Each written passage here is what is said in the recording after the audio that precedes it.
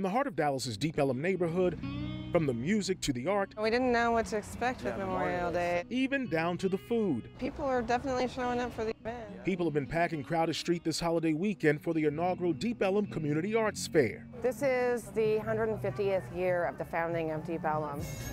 An historic celebration of Deep Ellum's history brought about new momentum and interest this year in revamping and reorganizing a celebration of visual, performing, and culinary arts. Everything going your way? Organizers say Wonderful. this fair has a strong local focus, which many of the artists and vendors are celebrating. The traffic has been excellent. Some local artists say this new Deep Ellum Community Arts Fair is welcoming some positive changes. There you go, my friends. Aaron Hunt Y'all have a blessed day. is a folk artist who's been showing his work here since 2014. The old Deep Ellum show, I loved it. It was awesome, but it became kind of high end. And man, what we're seeing right now is an expression of what I would believe is like a true culture of the essence of Deep Ellum. The Community Arts Fair is incorporating a new route away from Main Street to Crowder Street, giving visitors a better chance to explore a variety of restaurants and businesses in Deep Ellum. We're hearing the business community say that they are they love the event, they love the community spirit of the event, they love that we're not blocking their businesses. There were people just like lined up. and Several local and nationally recognized performers are gracing two stages at the Deep Ellum Community Arts Fair. Fare thee well to